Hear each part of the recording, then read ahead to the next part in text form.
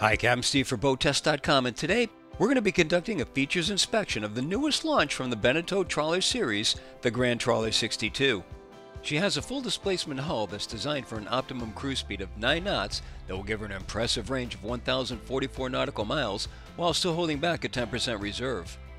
That puts her squarely into the passage making category. Let's put that into perspective for a moment. Chesapeake to Bermuda, certainly all of the Bahamas from anywhere in Florida, cruising the Northwest Inside Passage, even from Spain to France to Italy, all without refueling. With her twin MAN 730 horsepower engine, she's optimized for long distance, but can still achieve 20 knots if desired. The team at Nauta Design Studio has achieved a balance between spaciousness and privacy while making the entire yacht a welcome place to spend those extended days on board. It begins on the aft deck, accessed from wide stairs to port and starboard from the swim platform, which is, of course, submersible, allowing it to serve as a private beach or tender lift. The cockpit can be left open or choose this L-shaped seating and expandable table to add more functionality to the area.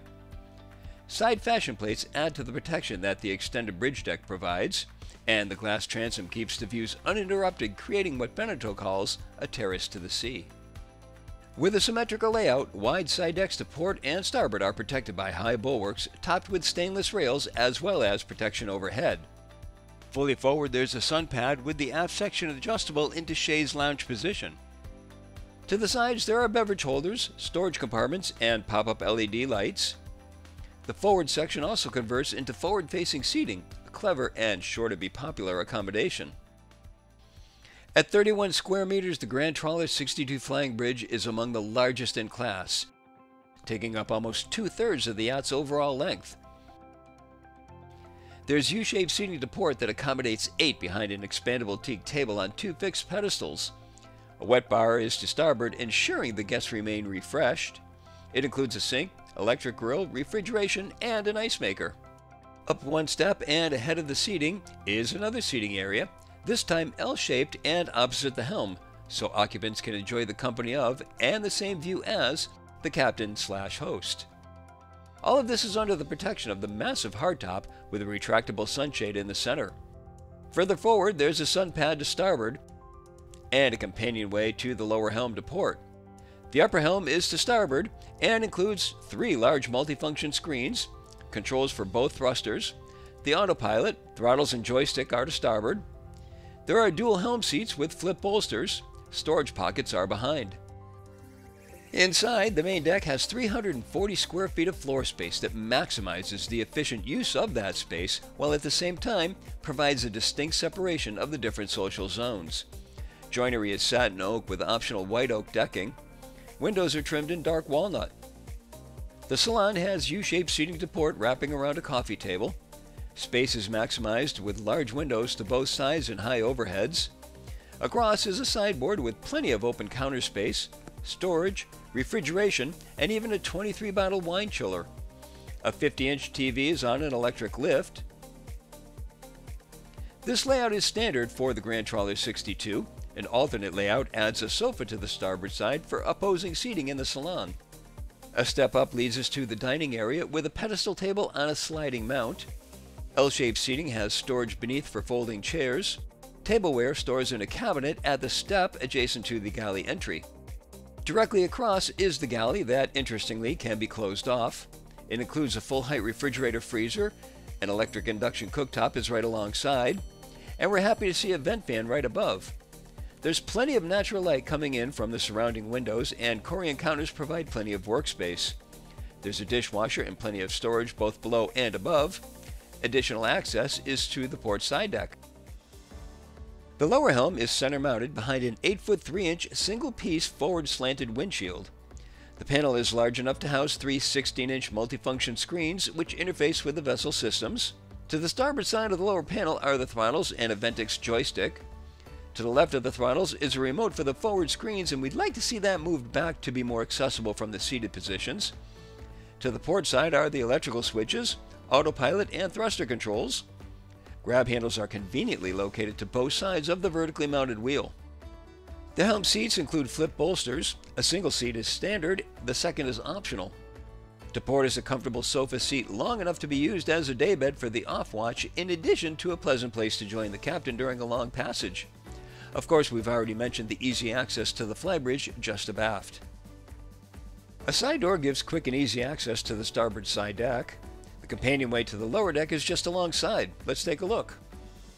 There are two layout choices. The standard, shown here, is a three stateroom, three head layout with the master at midships and the berth center mounted.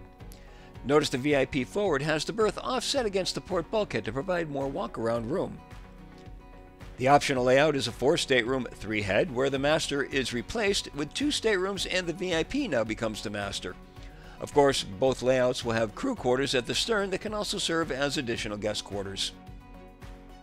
The master suite is located aft and is full beam.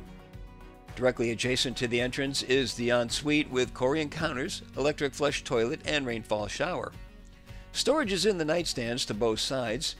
Lift the foot of the berth to expose more storage underneath. Still more storage is to the starboard side.